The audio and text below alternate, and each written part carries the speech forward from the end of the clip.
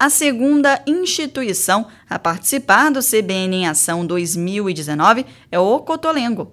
A história da instituição começou em 1830. Um padre chamado José Benedito Cotolengo fundou em Turim, na Itália, uma instituição que, em tradução para o português, significa a pequena casa. Voltada para os cuidados médicos a pessoas de baixa renda, a obra multiplicou-se pelas mãos de São Luís Orione e foi levada para diversos países, inclusive o Brasil.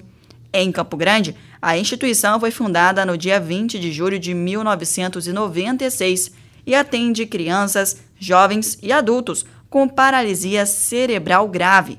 No local, tem atendimentos como fisioterapia, nutrição, pedagogia, terapia ocupacional, psicologia enfermagem, entre outros. Independente da idade, as pessoas que são atendidas no local são chamadas carinhosamente de crianças, pois, de acordo com as pessoas que trabalham lá, esses pacientes são como filhos para eles.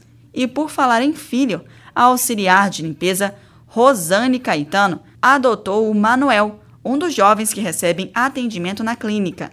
Ela explicou como o conheceu e a mudança que ele fez na vida dela. Eu tenho 10 anos de cotolengo, 10, 11 anos já, já vai fazer, né? Aí eu entrei como limpadeira, era limpadeira. Aí ficava limpando, aí a mãe dele veio fazer a entrega dele, né? Entrega sim, para ele ficar aqui, fazer a inscrição, tudo. Aí de repente ela faleceu. Aí ele ficava me chamando de vó, vó, vó. Era só ele descer do carro, ele me vira e começava a gritar. Aí logo ela faleceu, eu falei, ai meu pai, eu acho que eu vou. Não, aí o vô faleceu também, né, que cuidava. Aí arrumaram uma pessoa para cuidar e essa pessoa cuidava bem dele, aí faltar uma, uma situação meio triste. Aí eu peguei e eu pedi para ela, falei, eu vou ficar com ele. Aí eu pedi para a avó, a avó concordou. Aí que a avó também não tem condições assim de cuidar e passou para mim. Mas é uma benção de Deus. Manuel muito maravilhoso. A Vanessa Blanco é a coordenadora do Centro Dia na parte da tarde e explicou como funciona o centro. Nossas crianças elas chegam aqui é, pelo transporte da prefeitura, o nosso próprio transporte, nossa van. Elas chegam aqui às 7 horas, 8 horas da manhã. Elas ficam do período das 7 até as 15h30. Aí aqui a gente oferece alimentação, o suporte médico, a gente tem médicos voluntários, tanto como é, pediatra, neurologista. Todos eles dependem de tudo pra gente. A gente acaba sendo mão, olho, perna, boca, de todos eles. Porque às vezes um está com dor, a gente acaba só de olhar para eles, a gente consegue entender se ele está com dor, se ele está feliz. Então a gente acaba sendo transmitindo aquilo que ele sente.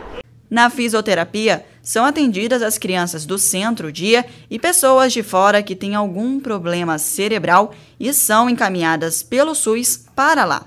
Lá é realizado o trabalho de reabilitação e manutenção. A fisioterapeuta Jaqueline Oliveira começou como estagiária no Cotolengo e contou a importância da fisioterapia para essas pessoas. É, a gente fala para não deixar atrofiar, né? Porque assim, o músculo parado, ele atrofia, ele perde massa, então a gente vai deixando o movimento, vai fazendo com que o movimento para é, manter a amplitude de movimento e tal, as articulações fiquem legais.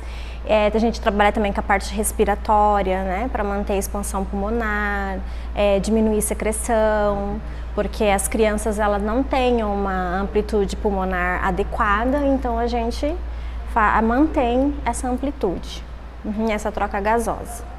Além de atendimento às crianças do Centro Dia, também são atendidas na psicologia pessoas que tiveram sequelas de AVC e crianças com autismo. A psicóloga Jaqueline Queiroz está no Cotolengo desde março de 2018. Ela explicou como é o trabalho então, da psicologia na instituição. E, bom, aqui a gente atende diariamente crianças com paralisia cerebral grave que ficam lá no centro dia E aqui na clínica a gente atende pessoas com necessidades e dificuldades neurológicas, né? Alguma pessoa que teve sequela de AVC, alguma pessoa que já nasceu com alguma dificuldade, algum problema neurológico, né?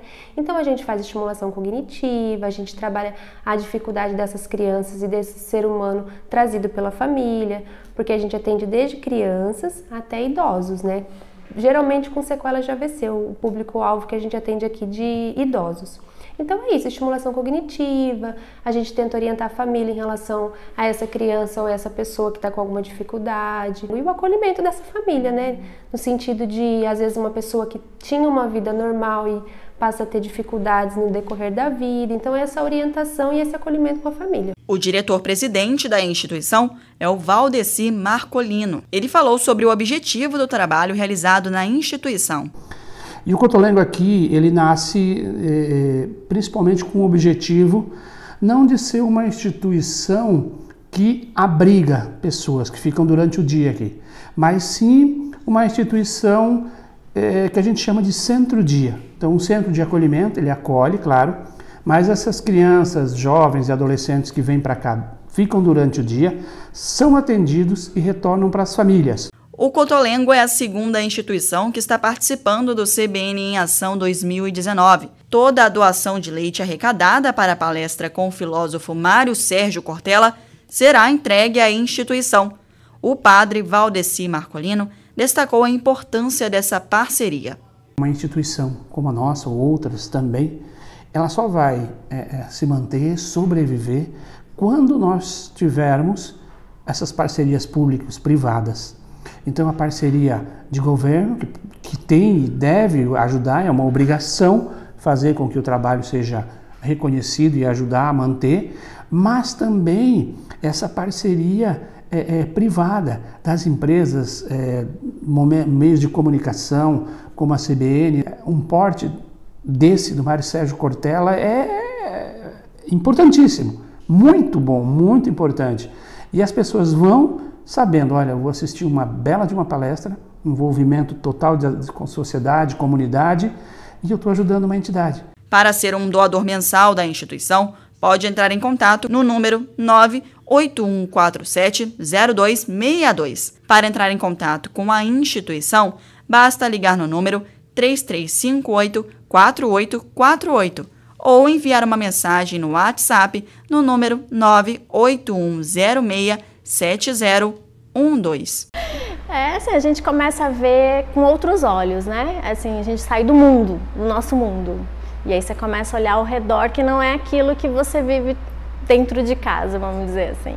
E aí você começa a se apaixonar.